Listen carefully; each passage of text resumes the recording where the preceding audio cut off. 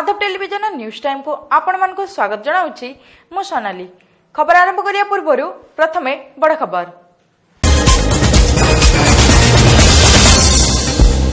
ମକର ସଂକ୍ରାନ୍ତିରେ ଉତ୍ସବ ମୁଖର ବାଲେଶ୍ୱର ଗୁଡ଼ି ଉଡ଼ାର ମଜା ଉଠାଇଲେ ସହରବାସୀ ଫକୀରମୋହନ ସାହିତ୍ୟ ପରିଷଦ ପକ୍ଷରୁ ଅନୁଷ୍ଠିତ ହେଲା ବ୍ୟାସକବି ଜୟନ୍ତୀ ଓ ବିଶେଷ ସମ୍ବର୍ଦ୍ଧନା ପର୍ବ ଅତିଥି କହିଲେ ଓଡ଼ିଆ ଭାଷା ସାହିତ୍ୟକୁ ବ୍ୟାସକବିଙ୍କ ଅବଦାନ ଏ ଜାତି ପାଇଁ ଅବିସ୍ମରଣୀୟ ହୋଇ ରହିଛି। ଜାନୁଆରୀ ଉଣେଇଶରୁ ବାଲେଶ୍ୱର ଆଇଟିଆଇ ପଡ଼ିଆରେ ଆରମ୍ଭ ହେବ ଆକ୍ୱା ଏକ୍ସପୋ। ତିନିଦିନିଆ ଆକ୍ୱା ଟ୍ରେଡ୍ ଫେୟରରେ ଯୋଗଦେବେ ଶହେରୁ ଉର୍ଦ୍ଧ୍ୱ ଉଦ୍ୟୋଗୀ। ଅନୁଷ୍ଠିତ ହେଲା ରାଷ୍ଟ୍ରୀୟ ସ୍ୱୟଂସେବକ ସଂଘ ପକ୍ଷରୁ ମକର ମିଳନ ଉତ୍ସବ। ରାଷ୍ଟ୍ର ସେବାରେ ନିଜକୁ ନିୟୋଜିତ କରିବାକୁ ଅତିଥିଙ୍କ ଆହ୍ୱାନ। ଜନଜାଗରଣ ମଞ୍ଚ ପକ୍ଷରୁ ପାଳିତ ହେଲା ବ୍ୟାସକବି ଜୟନ୍ତୀ। ଉନ୍ମୋଚିତ ହେଲା ମାସିକ ସାହିତ୍ୟ ପତ୍ରିକା ସାଗରିକାର ନବବର୍ଷ ସଂଖ୍ୟା। ଅନୁଷ୍ଠିତ ହେଲା ବାଲେଶ୍ୱର ଜିଲ୍ଲା ବ୍ରାହ୍ମଣ ସମିତିର ବନ୍ଧୁ ମିଳନ ପର୍ବ। ଆସନ୍ତା ଫେବୃଆରୀ ଛବିଶର ବାର୍ଷିକ ଉତ୍ସବକୁ ସଫଳ କରିବା ଉପରେ ଗୁରୁତ୍ୱ। ଅନୁଷ୍ଠିତ ହେଲା ସଭାରାମପୁର ୟୁଜିୟୁପି ସ୍କୁଲର ବାର୍ଷିକ ପ୍ରତିଭା ପ୍ରଦର୍ଶନ ଏବଂ ପୁରସ୍କାର ବିତରଣ ଉତ୍ସବ। ଅନୁଷ୍ଠିତ ହେଲା ଗୋପବନ୍ଧୁ ଇଂଲିଶ ମିଡିୟମ ସ୍କୁଲର ଦ୍ୱାଦଶ ବାର୍ଷିକ ଉତ୍ସବ।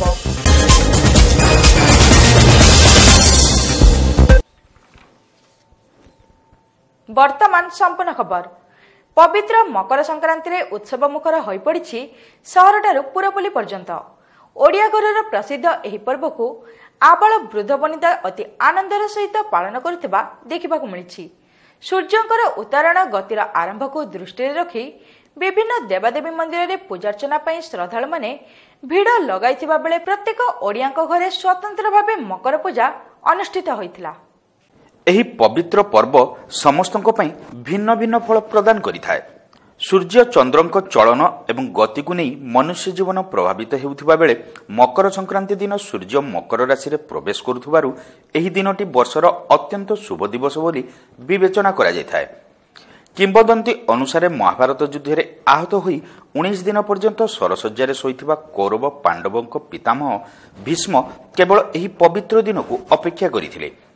ସୂର୍ଯ୍ୟଙ୍କ ଉତ୍ତରାୟଣ ଗତି ଆରମ୍ଭ ହେବା ପରେ ସେ ଇଚ୍ଛା ମୃତ୍ୟୁ ବରଣ କରିଥିଲେ।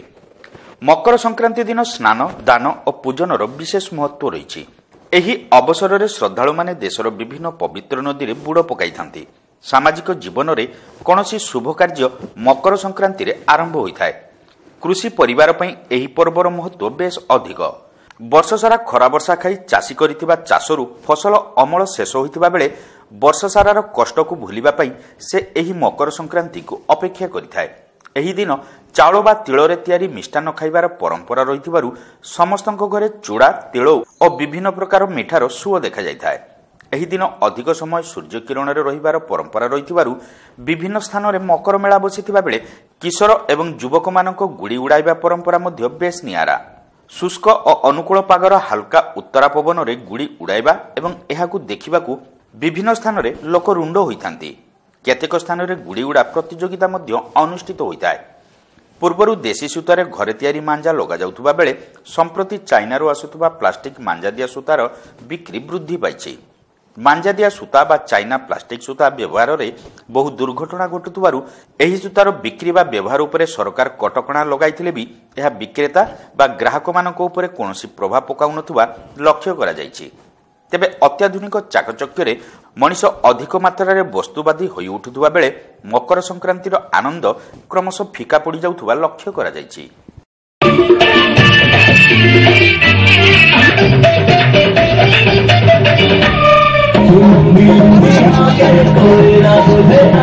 कभी वाले हैं दिनों को हम चढ़ेंगे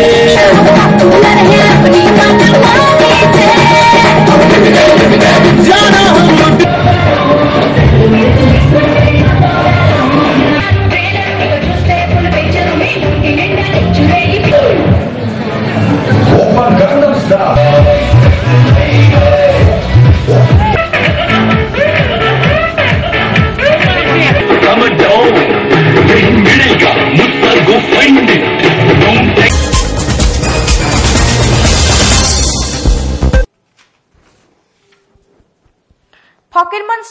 ପରିଷଦ ପକ୍ଷରୁ ବ୍ୟାସକବି ଫକୀରମୋହନ ସେନାପତିଙ୍କ ଶହେ ଛଅସ୍ତରୀତମ ଜୟନ୍ତୀ ଉତ୍ସବ ଓ ସମ୍ବର୍ଦ୍ଧନା ପର୍ବ ସହରର ମଲ୍ଲିକାଜପୁରସ୍ଥିତ କବିତୀର୍ଥ ଶାନ୍ତିକାନନରେ ଅନୁଷ୍ଠିତ ହୋଇଯାଇଛି। ବିଶିଷ୍ଟ ନାଟ୍ୟକାର ଡକ୍ଟର ରମେଶ ଚନ୍ଦ୍ର ପାଣିଗ୍ରାହୀ ଏଥିରେ ମୁଖ୍ୟ ଅତିଥି ଭାବେ ଯୋଗ ଦେଇ ଓଡ଼ିଆ ଭାଷା ସାହିତ୍ୟକୁ ବ୍ୟାସକବିଙ୍କ ଅବଦାନ ସମ୍ପର୍କରେ ଆଲୋଚନା କରିଥିଲେ। ତାଙ୍କର ବାସ୍ତବବାଦୀ ରଚନା ଅନ୍ୟାନ୍ୟ ଭାଷାଭାଷୀ ସାହିତ୍ୟିକଙ୍କ କଳ୍ପିତ ଲେଖାକୁ ମଳିନ କରିଦେଇଥିଲା ବୋଲି ସେ କହିଥିଲେ। ତତ୍କାଳୀନ ସମାଜର ଜମିଦାର ଲୋକଚରିତ୍ର ଓ କ୍ଷମତାର ଭିତ୍ତିଭୂମି ଉପରେ ରଚିତ ତାଙ୍କର ସମସ୍ତ ସାହିତ୍ୟାକୃତି ଆଜି ବି ଜୀବନ୍ତ ହୋଇ ରହିଛି ବୋଲି ଡକ୍ଟର ପାଣିଗ୍ରାହୀ କହିଥିଲେ। ତେବେ ବ୍ୟାସକବିଙ୍କ ପ୍ରଥମ ଉପନ୍ୟାସ ଲଛମନିଆକୁ କିପରି ଉଦ୍ଧାର କରାଯାଇପାରିବ ସେ ନେଇ ପରିଷଦ ବିଶେଷ ପ୍ରଚେଷ୍ଟା କରିବାକୁ ସେ କର୍ମକର୍ତ୍ତାଙ୍କୁ ଆହ୍ୱାନ ଦେଇଥିଲେ। ବୌଦ୍ଧିକ ଉଦ୍ଭା- ଉଦ୍ଭାବନ ଦ୍ୱାରା ସାହିତ୍ୟ ଏକାଡେମୀ ପୁରସ୍କାର ମିଳିବନି।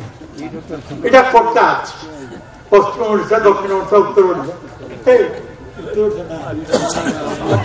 ଏମିତି ବିଭିନ୍ନ ଓଡ଼ିଶା ଅଛି କିନ୍ତୁ ଲବିରେ ହାରି ଯାଉଛନ୍ତି କୋଟା ଏଇଠି ଆପଣ ଲବି ବ୍ୟବସ୍ଥା କରିବା ପାଇଁ ନିଜ ଆଗରେ ନିଜର ନିଜେ ଗୋଟେ ସାମର୍ଥ୍ୟ ହାସଲ କରିବା ପାଇଁ ଫକୀର ମୋହନ ସାହିତ୍ୟ ସଂସଦ ସାମାନ୍ୟ ସଂସ୍କୃତିକୁ ଟିକେ ସ୍ପେଲିଂ ବଦଳି ଦେଇକିରି ରାଜନୀତିକୁ ଆସିବାକୁ ପଡ଼ିବ ଏଇଟା ଅନିବାର୍ଯ୍ୟ ଏହା ଏକ ଅ, ଅବକ୍ଷୟ ନୁହେଁ ସଂସ୍କୃତିର ଅର୍ଥ ହେଲା ରାଜନୀତି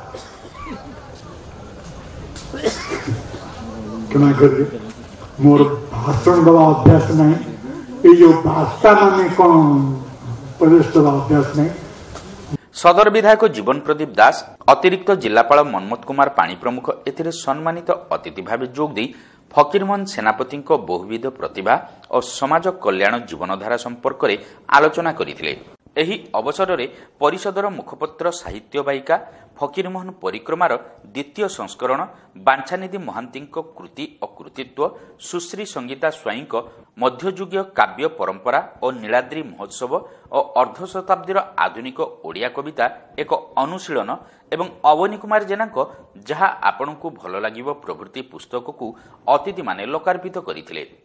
ଏଥିସହିତ କଳା ଓ ସାହିତ୍ୟ କ୍ଷେତ୍ରରେ ଉଲ୍ଲେଖନୀୟ ଅବଦାନ ଥିବା ବହୁ ବ୍ୟକ୍ତିବିଶେଷଙ୍କୁ ପରିଷଦ ପକ୍ଷରୁ ସମ୍ବର୍ଦ୍ଧିତ କରାଯାଇଥିଲା। ସାହିତ୍ୟ ପରିଷଦର ସଭାପତି ଡକ୍ଟର ଲକ୍ଷ୍ମୀକାନ୍ତ ତ୍ରିପାଠୀ ଏହି କାର୍ଯ୍ୟକ୍ରମରେ ପୌରୋହିତ୍ୟ କରିଥିଲେ।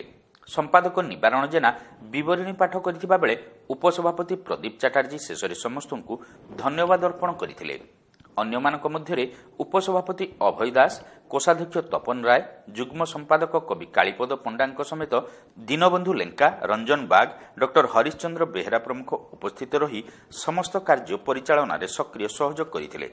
ଅପରାହ୍ନରେ ଆୟୋଜିତ କବି ସମ୍ମିଳନୀ ଓ କବିତା ପାଠ ଉତ୍ସବରେ ବହୁ କବି ଓ କବିୟତ୍ରୀ ଯୋଗ ଦେଇଥିଲେ। ସନ୍ଧ୍ୟାରେ ନାଟ୍ୟାନୁଷ୍ଠାନ ନାୟିକା ପକ୍ଷରୁ ନାଟକ ତଥାପି ନୀଳପଣ୍ଡିତ ମଞ୍ଚସ୍ଥ ହୋଇଥିଲା।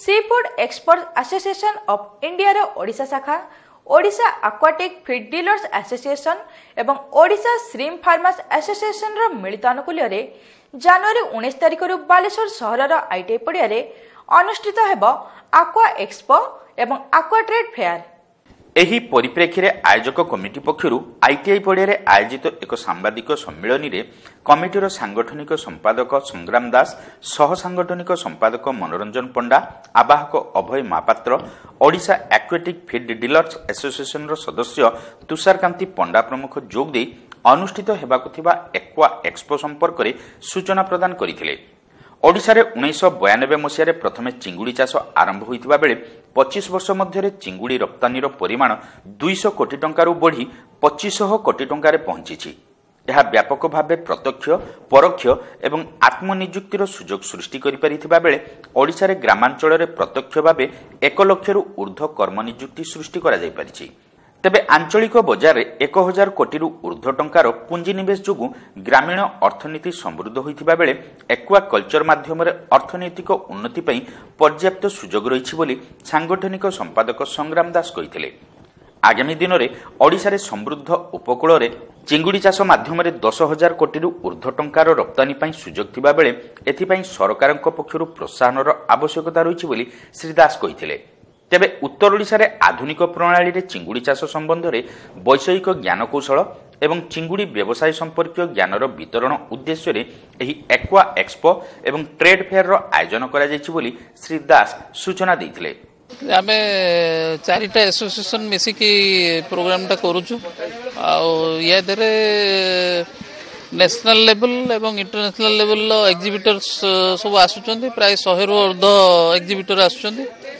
ସେମାନେ ତାଙ୍କର ନୂତନ ଜ୍ଞାନ କୌଶଳ ଏଠି ପ୍ରଦର୍ଶନୀରେ ଦେଖେଇବେ ଏବଂ ଚାଷୀମାନଙ୍କୁ ତା ଉପରେ ବି ସେମାନେ ଜ୍ଞାନ ଦେବେ। ଉଣେଇଶ କୋଡ଼ିଏ ଏକୋଇଶ ତିନି ଦିନ ଆମେ କରୁଛୁ। ଆମେ ଆଶା କରୁଛୁ ଯେ ବହୁତ ଆମର ଯେଉଁ ଓଡ଼ିଶା ଲେଭେଲରେ ଯେତିକି ଚାଷୀ ଏହି ନୂତନ ଜ୍ଞାନ କୌଶଳକୁ ଆଡପ୍ଟ କରିକି ଫ୍ୟୁଚରରେ ଭଲ ପ୍ରଡକ୍ସନ ତାଙ୍କର କରିପାରିବେ ଏଇ ଏକୁଆ ଫିଲ୍ଡରେ মাছ চাষ হল কিংবা চিଙ୍ଗୁড়ি আমি অল ওড়িশা প্রায় সবু চাষীকে ইনভাইট তো করুছু কিন্তু তা ভিতরে আমি এক্সপেক্ট করুছু এরাউন্ড ফাইভ থাউজেন্ড চাষী আসবে সেমিনারে আমি গুরুত্ব দেবু যে এন্টিবায়োটিক ইস্যুটা এন্টিবায়োটিক ফ্রি কলচর হলে তেমন সমস্ত ভালো আজ এক্সপোর্টর ধরন্তু চাষীঠু মেটেরিয়াল কিণিকি ଆଜି ଏକ୍ସପୋର୍ଟ କରୁଛି। ଯଦି ତାର ଫରେନ୍ କଣ୍ଟ୍ରିରେ ଆଣ୍ଟିବାୟୋଟିକ୍ ଡିଟେକ୍ଟ ହେଉଛି ସେ କଣ୍ଟେନରଟା ସେମାନେ ଟୋଟାଲ ରିଜେକ୍ଟ କରି ଫେରେଇ ଦେଉଛନ୍ତି। ତେଣୁ ଯଦି ଆଣ୍ଟିବାୟୋଟିକ୍ ଏମାନେ ଚାଷୀମାନେ ୟୁଜ୍ ନ କରନ୍ତେ ତାହେଲେ ଆଣ୍ଟିବାୟୋଟିକ୍ ଫ୍ରି ପ୍ରଡକ୍ଟ ହେଲେ ଆମେ ହୁଏତ ତାକୁ ଭଲରେ ମାର୍କେଟିଂ କରି ବିକି ପାରନ୍ତୁ। Balasore chamber of industries and commerce ସହଯୋଗରେ ଅନୁଷ୍ଠିତ ହେଉଥିବା ଏହି ଏକ୍ସପୋରେ ସମଗ୍ର ଭାରତ ତଥା ଦେଶ ବାହାରୁ ଏକଶହରୁ ଉର୍ଦ୍ଧ୍ୱ କମ୍ପାନୀ ତଥା ଉଦ୍ୟୋଗୀ ଚିଙ୍ଗୁଡ଼ି ଚାଷ ଏବଂ ବ୍ୟବସାୟ ସମ୍ବନ୍ଧୀୟ ପ୍ରଦର୍ଶକ ଭାବେ ଅଂଶଗ୍ରହଣ କରିବେ ବୋଲି ଶ୍ରୀ ଦାସ ପ୍ରକାଶ କରିଥିଲେ।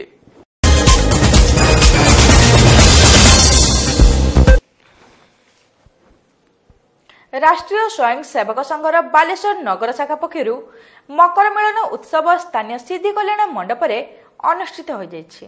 ଏହି ପରିପ୍ରେକ୍ଷୀରେ ଆୟୋଜିତ ସ୍ୱତନ୍ତ୍ର କାର୍ଯ୍ୟକ୍ରମରେ ଆର୍ଏସ୍ଏସ୍ର ଜିଲ୍ଲା ସେବା ପ୍ରମୁଖ ଅମର ପ୍ରସାଦ ସେଠୀ ପୌରୋହିତ୍ୟ କରି କାର୍ଯ୍ୟକ୍ରମ ପାଳନର ଆଭିମୁଖ୍ୟ ସମ୍ପର୍କରେ ଆଲୋକପାତ କରିଥିଲେ। ଧର୍ମଜାଗରଣ ସମନ୍ୱୟର ବାଲେଶ୍ୱର ଜିଲ୍ଲା ମୁଖ୍ୟ ମାର୍ଗଦର୍ଶକ ବାବାଜୀ ଡକ୍ଟର ସନତ କୁମାର ଦାସ କାର୍ଯ୍ୟକ୍ରମରେ ମୁଖ୍ୟ ଅତିଥି ଭାବେ ଯୋଗ ଦେଇ ମକର ସଂକ୍ରାନ୍ତିର ମହନୀୟତା ଶାସ୍ତ୍ରୀୟ ପ୍ରାମାଣିକତା ଓ ଜନମାନସ ପାଇଁ ଶାସ୍ତ୍ର ଉପଦେଶ ଉପରେ ବିଶଦ ଭାବେ ଆଲୋଚନା କରିଥିଲେ। କେବଳ ଉତ୍ସବକୁ ପାଳନରେ ସୀମିତ ନ ରଖି ଉତ୍ସବ ମାଧ୍ୟମରେ ସମାଜ ତଥା ରାଷ୍ଟ୍ରର ସେବା ପାଇଁ ମାନସିକତା ସୃଷ୍ଟି କରିବାକୁ ବାବାଜୀ ଶ୍ରୀ ଦାସ ଆହ୍ୱାନ ଦେଇଥିଲେ। ରାଷ୍ଟ୍ରୀୟ ସ୍ୱୟଂସେବକ ସଂଘର ଓଡ଼ିଶା ପୂର୍ବ ପ୍ରାନ୍ତ ସଂଘଚାଳକ ସୌମ୍ୟରଞ୍ଜନ ମହାନ୍ତି ଏଥିରେ ମୁଖ୍ୟ ବକ୍ତା ଭାବେ ଯୋଗ ଦେଇ ଜାତିବାଦରୁ ଊର୍ଦ୍ଧ୍ୱକୁ ଉଠି ସମାଜରେ ସମାନତା ଆଣିବାକୁ ଆହ୍ୱାନ ଦେଇଥିଲେ। ସମସ୍ତେ ଏକ ମନ ଏକ ପ୍ରାଣରେ ରାଷ୍ଟ୍ରଭକ୍ତିରେ ବ୍ରତୀ ହୋଇ ଦେଶ ମାତୃକାର ସେବାରେ ନିଜକୁ ନିୟୋଜିତ କରିବାକୁ ଶ୍ରୀ ମହାନ୍ତି ନିବେଦନ କରିଥିଲେ। ସବୁଠୁ ପୁରାତନ ସଭ୍ୟତା ହେଲେ ମଧ୍ୟ ଆଜି ଯାଏ ବଞ୍ଚି ରହିଛି। ଜଣା ନାହିଁ କୋଉ ପ୍ରକାର ମୃତ୍ୟୁ ସଞ୍ଜୀବନୀ ଆଉ ସେ ସେ ପ୍ରକାର ଅମୃତର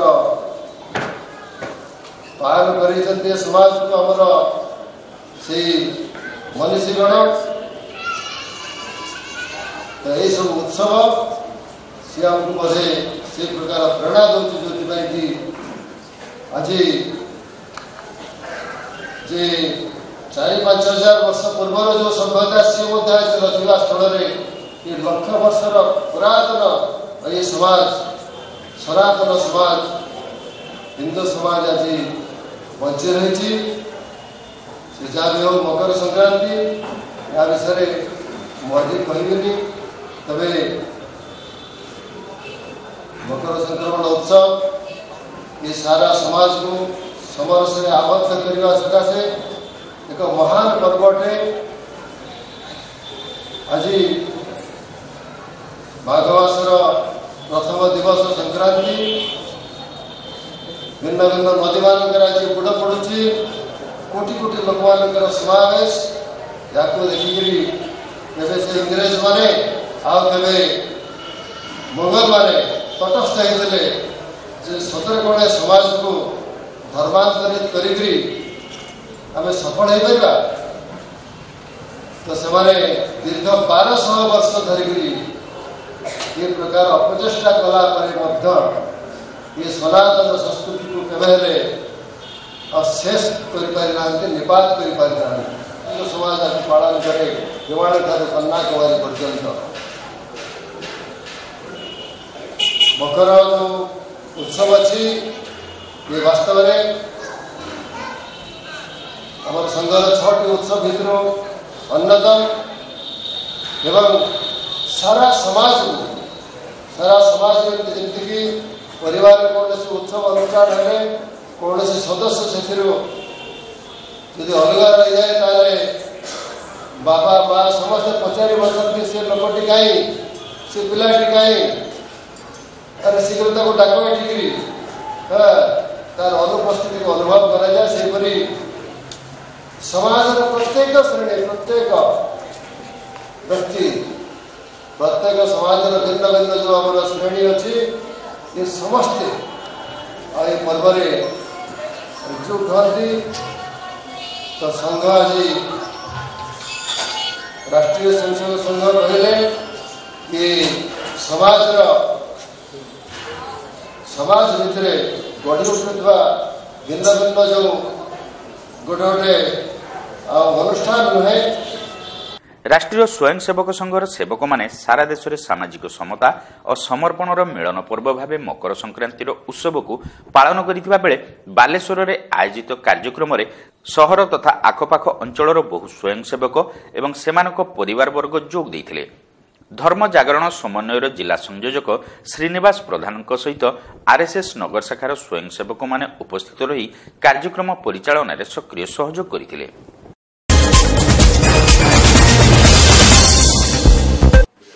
ମାଧବ ଟେଲିଭିଜନ ନ୍ୟୁଜ୍ ଟାଇମ୍ରେ ବର୍ତ୍ତମାନ ଏକ ବିରତିର ବିରତି ପରେ ଜାରି ରହିବ ଅନ୍ୟାନ୍ୟ ଖବର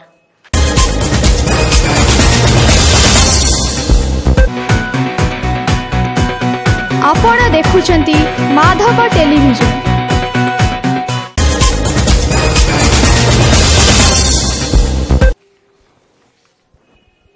ବିରତି ପରେ ଆପଣମାନଙ୍କୁ ପୁଣି ଥରେ ସ୍ୱାଗତ ଜିଲ୍ଲାର ଅନ୍ୟତମ ଗଣସଂଗଠନ ଜନଜାଗରଣ ମଞ୍ଚ ପକ୍ଷରୁ ବାଲେଶ୍ୱର ରେଳ ଷ୍ଟେସନ ସମ୍ମୁଖରେ ବ୍ୟାସକବି ଫକୀରମୋହନ ସେନାପତିଙ୍କ ଶହେ ଛଅସ୍ତରୀତମ ଜୟନ୍ତୀ ପାଳିତ ହୋଇଯାଇଛି। ଷ୍ଟେସନ ସମ୍ମୁଖରେ ଥିବା ବ୍ୟାସକବିଙ୍କ ପ୍ରତିମୂର୍ତ୍ତିରେ ମାଲ୍ୟାର୍ପଣ ପୂର୍ବକ ସେଠାରେ ଏକ ସାଧାରଣ ସଭା ଅନୁଷ୍ଠିତ ହୋଇଥିଲା। ପୂର୍ବାଞ୍ଚଳ zone police IG Binayatosh Mishra ଏଥିରେ ମୁଖ୍ୟ ଅତିଥି ଭାବେ ଯୋଗ ଦେଇ ଓଡ଼ିଆ ଭାଷା ସୁରକ୍ଷାରେ ବ୍ୟାସକବିଙ୍କ ଅବଦାନ ସମ୍ପର୍କରେ ଆଲୋକପାତ କରିଥିଲେ। कौन सी संस्कृति एवं भाषा को मान्यता पाए जन के महान व्यक्ति ठान लिया वहाँ विधायक बहुत थे क्षेत्र जितना उड़ीसा बंगाल प्रभाव थिला और बंगाल साहित्य का प्रभाव उड़िया को संस्कृत भाषा मान्यता प्राप्त हो नथिला সদর বিধায়ক জীবন প্রদীপ দাস ওড়িশা সাহিত্য একাডেমির প্রাক্তন সভাপতি হুসেন রবি গান্ধী পৌরপাল আলোক কুমার সাউ প্রমুখ এতে সম্মানিত অতিথি ভাবে যোগ দিয়ে ফকিরমোহন সেনাপতি বালেশ্বর সমেত সমগ্র ওড়শা আজ গর্বিত বলে কইলে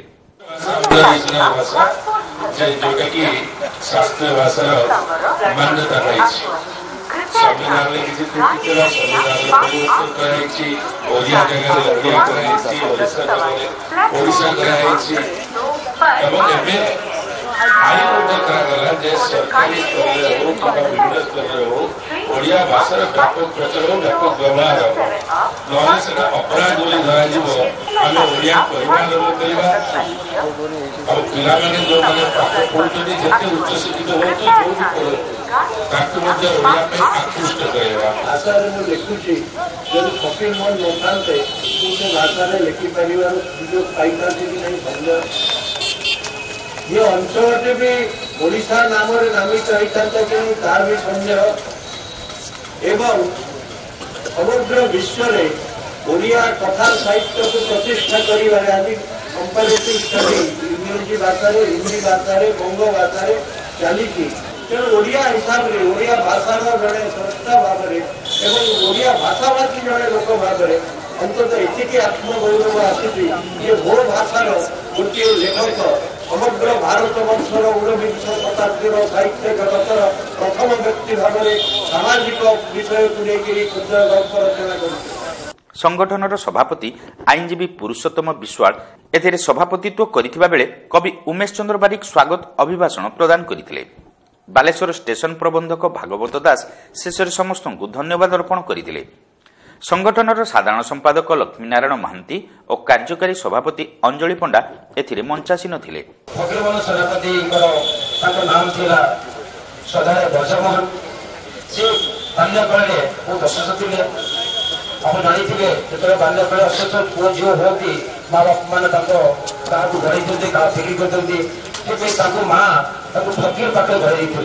ସେଥିପାଇଁ ତାଙ୍କୁ ଫକୀର ମୋହନଙ୍କ ନାଁରେ ଆଖ୍ୟା ଦିଆଗଲା।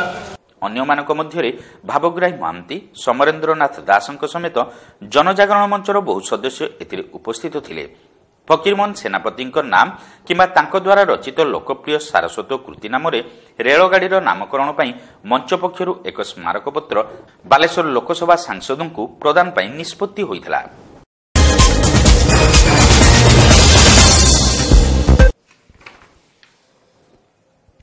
ଦୈନିକ ସମ୍ବାଦପତ୍ର ଧ୍ୱନି ପ୍ରତିଧ୍ୱନି ଏବଂ ମାସିକ ସାହିତ୍ୟ ପତ୍ରିକା ସାଗରିକା ପକ୍ଷରୁ ସ୍ଥାନୀୟ କଳିଙ୍ଗ ହୋଟେଲ ସଭାଗୃହରେ ଆୟୋଜିତ ମାସିକ ସାହିତ୍ୟ ଆସର ଅବସରରେ ସାଗରିକାର ନବବର୍ଷ ସଂଖ୍ୟା ଉନ୍ମୋଚିତ ହୋଇଯାଇଛି।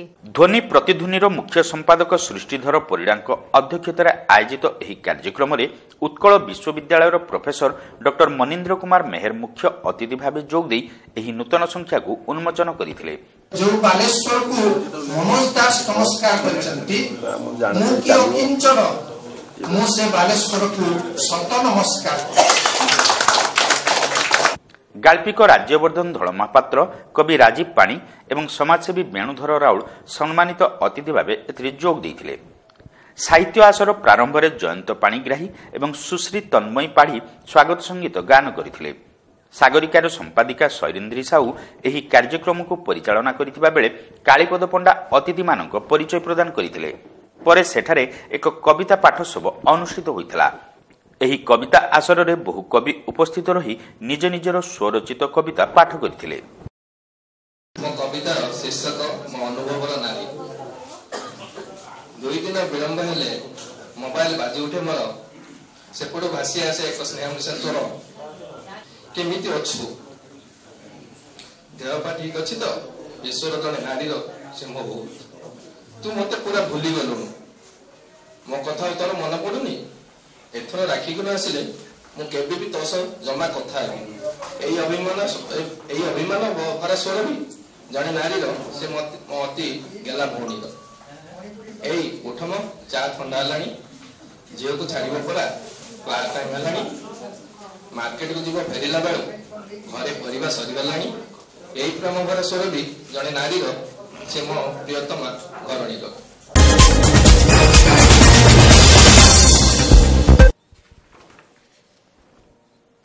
ବାଲେଶ୍ୱର ଜିଲ୍ଲା ବ୍ରାହ୍ମଣ ସମିତିର ଏକ ବନ୍ଧୁ ମିଳନ ପର୍ବ ସହରର ଦାମଦରପୁର ସ୍ଥିତ କାର୍ଯ୍ୟାଳୟରେ ଅନୁଷ୍ଠିତ ହୋଇଯାଇଛି।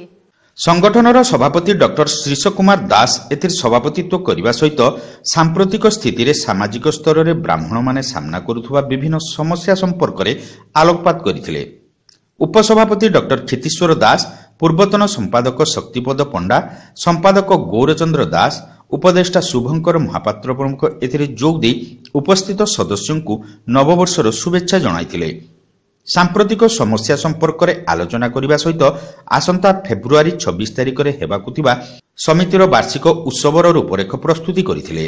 ଏ ଶକ୍ତିର ଆକଳନ ଆମକୁ ଜନସାଧାରଣଙ୍କ ପାଖରେ ପହଞ୍ଚେଇବାକୁ ପଡିବ। ଯଦି ଆମେ ସକ୍ରିୟ ହେଇପାରିବୁ ପଞ୍ଚାୟତ ସ୍ତରରୁ ତୃଣମୂଳ ସ୍ତରରୁ ଆମେ ସଂଗଠନକୁ ଯଦି ସୁଦୃଢ କରି ନ ପାରିବୁ ତ ତାହେଲେ ଆଗାମୀ ଦିନରେ ଏ ସବୁ ସ୍ୱପ୍ନ ଦିବା ସ୍ୱପ୍ନରେ ପରିଣତ ହେଇପାରେ। ଉତ୍ସବକୁ ସଫଳ କରିବା ପାଇଁ ସମସ୍ତଙ୍କ ସହଯୋଗ ଉପରେ ଏହି ବନ୍ଧୁ ମିଳନ ପର୍ବରେ ଗୁରୁତ୍ୱ ଦିଆଯାଇଥିଲା ଅନ୍ୟମାନଙ୍କ ମଧ୍ୟରେ କୋଷାଧ୍ୟକ୍ଷ ରାଧାକୃଷ୍ଣ ଆଚାର୍ଯ୍ୟ ଲକ୍ଷ୍ମୀକାନ୍ତ ନନ୍ଦ ଗୌରାଙ୍ଗ ପାଣିଗ୍ରାହୀ ଡକ୍ଟର ଚିନ୍ମୟ ପାଣିଗ୍ରାହୀ ବୈଦ୍ୟନାଥ ଆଚାର୍ଯ୍ୟ ପ୍ରମୁଖଙ୍କ ସମେତ ସଂଗଠନର ବହୁ ସଦସ୍ୟ ଏହି ବନ୍ଧୁ ମିଳନ ପର୍ବରେ ଉପସ୍ଥିତ ରହି ଆଲୋଚନାରେ ଅଂଶଗ୍ରହଣ କରିଥିଲେ ଉପସଭାପତି କୃଷ୍ଣଚନ୍ଦ୍ର ପତ୍ରୀ ମଞ୍ଚ ପରିଚାଳନା ସହିତ ଶେଷରେ ସମସ୍ତଙ୍କୁ ଧନ୍ୟବାଦ ଅର୍ପଣ କରିଥିଲେ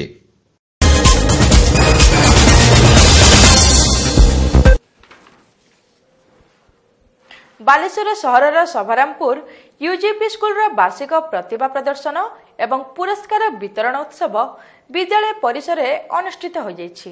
ବାଲେଶ୍ୱର ପୌରପାଳ ଆଲୋକ କୁମାର ସାହୁ ଏଥିରେ ମୁଖ୍ୟ ଅତିଥି ଭାବେ ଯୋଗ ଦେଇ କାର୍ଯ୍ୟକ୍ରମକୁ ଆନୁଷ୍ଠାନିକ ଭାବେ ଉଦ୍ଘାଟନ କରିଥିଲେ।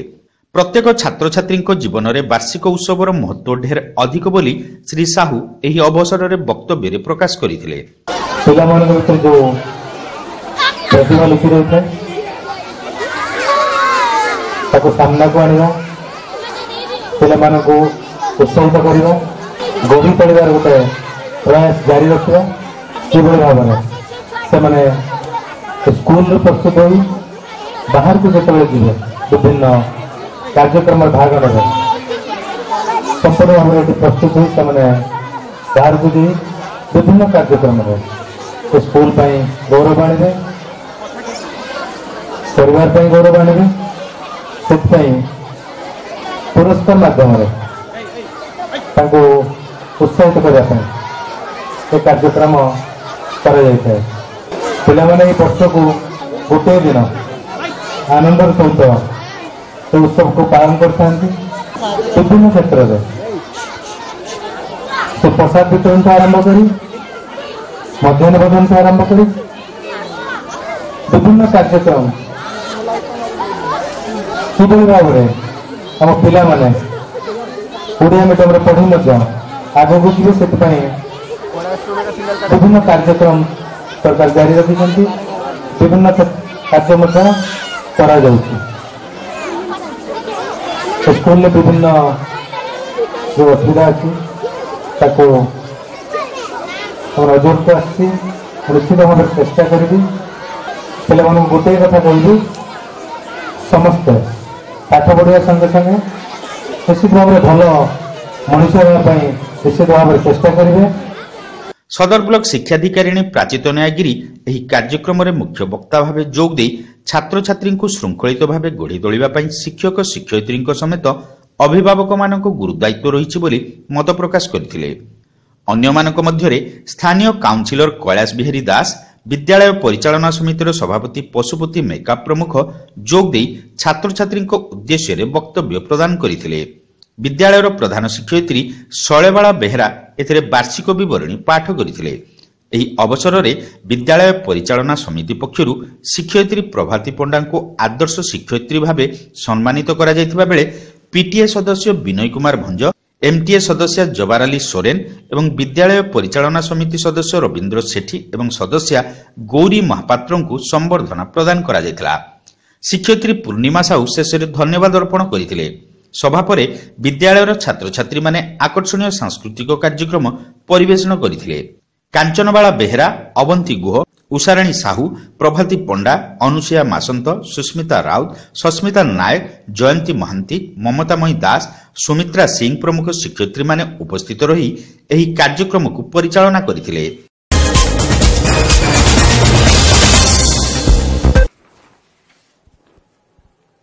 ଗୋପବନ୍ଧୁ ଇଂଲିଶ ମିଡିୟମ ସ୍କୁଲର ଦ୍ୱାଦଶତମ ବାର୍ଷିକ ଉତ୍ସବ ଅର୍ଡର ବଜାର ସ୍ଥିତ ବିଦ୍ୟାଳୟ ପରିସରରେ ଅନୁଷ୍ଠିତ ହୋଇଯାଇଛି।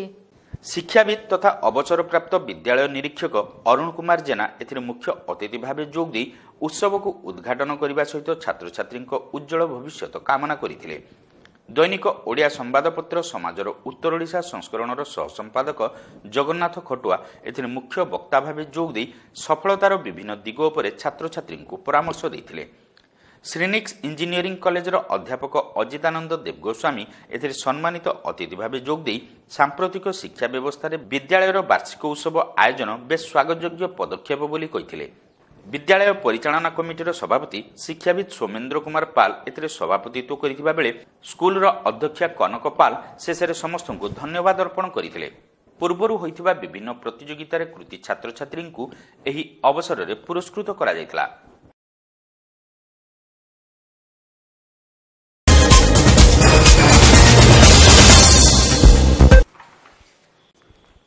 ଖବର ଶେଷ କରିବା ପୂର୍ବରୁ ବଡ଼ ଖବର ପୁଣି ଥରେ।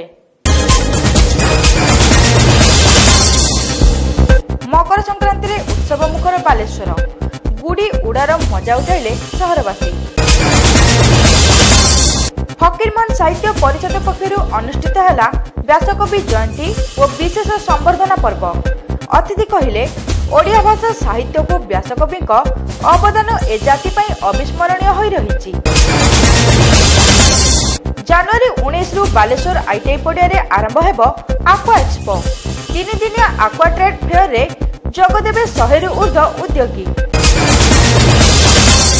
ଅନୁଷ୍ଠିତ ହେଲା ରାଷ୍ଟ୍ରୀୟ ସ୍ୱୟଂସେବକ ସଂଘ ପକ୍ଷରୁ ମକର ମିଳନ ଉତ୍ସବ। ରାଷ୍ଟ୍ର ସେବାରେ ନିଜକୁ ନିୟୋଜିତ କରିବାକୁ ଅତିଥିଙ୍କ ଆହ୍ୱାନ। ଜନଜାଗରଣ ମଞ୍ଚ ପକ୍ଷରୁ ପାଳିତ ହେଲା ବ୍ୟାସକବି ଜୟନ୍ତୀ। ଉନ୍ମୋଚିତ ହେଲା ମାସିକ ସାହିତ୍ୟ ପତ୍ରିକା ସାଗରିକାର ନବବର୍ଷ ସଂଖ୍ୟା। ଅନୁଷ୍ଠିତ ହେଲା ବାଲେଶ୍ୱର ଜିଲ୍ଲା ବ୍ରାହ୍ମଣ ସମିତିର ବନ୍ଧୁ ମିଳନ ପର୍ବ। ଆସନ୍ତା ଫେବୃଆରୀ ଛବିଶର ବାର୍ଷିକ ଉତ୍ସବକୁ ସଫଳ କରିବା ଉପରେ ଗୁରୁତ୍ୱ। ଅନୁଷ୍ଠିତ ହେଲା ସଭାରାମପୁର ୟୁଜିୟୁପି ସ୍କୁଲର ବାର୍ଷିକ ପ୍ରତିଭା ପ୍ରଦର୍ଶନ ଏବଂ ପୁରସ୍କାର ବିତରଣ ଉତ୍ସବ। ଅନୁଷ୍ଠିତ ହେଲା ଗୋପବନ୍ଧୁ ଇଂଲିଶ ମିଡିୟମ ସ୍କୁଲର ଦ୍ୱାଦଶ ବାର୍ଷିକ ଉତ୍ସବ। ମାଧବ ଟେଲିଭିଜନ ନ୍ୟୁଜ୍ ଟାଇମ୍ରେ ଆଜି ପାଇଁ ଏତିକି। ରହୁଛି ନମସ୍କାର।